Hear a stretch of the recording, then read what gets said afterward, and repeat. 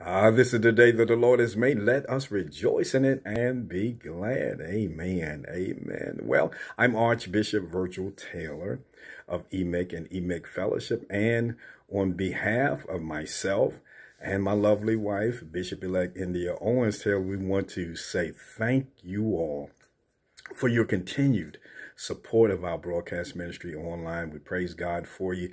We realize that you guys could go anywhere on the on the internet to see a, um, a broadcast these days. And uh, we thank God for you all who have been faithful in coming in and viewing our broadcast. And uh, we praise God for you. And we uh, praise God for your continued support in all that we're trying to do.